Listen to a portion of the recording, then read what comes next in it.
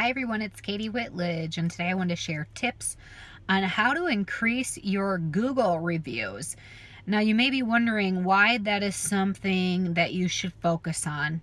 And the answer is it significantly increases your SEO, which is search engine optimization. Meaning, when people go to find a new hairstylist or a new hair salon, you want to be one of those top options that they choose from in their search. So Google reviews not only impact your searchability, but when the time comes where they do find you, you want to make a huge impact on their decision before they even click through to your website.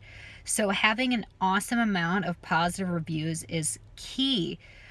Okay, so I helped one salon increase their Google reviews by having them give an incentive. And there's a couple ways you can do this. First, this salon had about 25 five star reviews. Pretty good.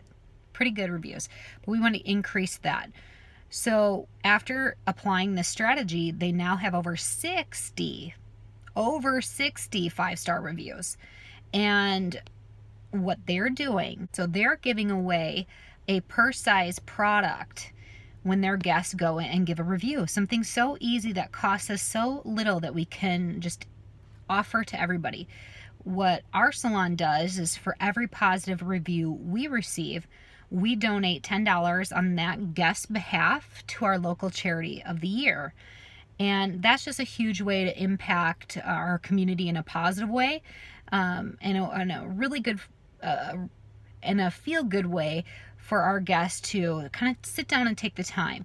I, I, think it's really about encouraging your guests to take a few moments to share their positive experience and just watch these reviews build for you if you put one of these strategies in place for your salon.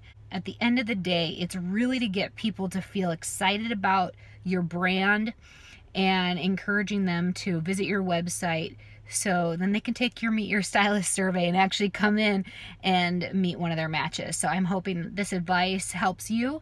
If you have any other ideas on ways that you could incentivize your guests to do a Google review for your salon, I'd love for you to share those ideas. Until next time, thanks everybody.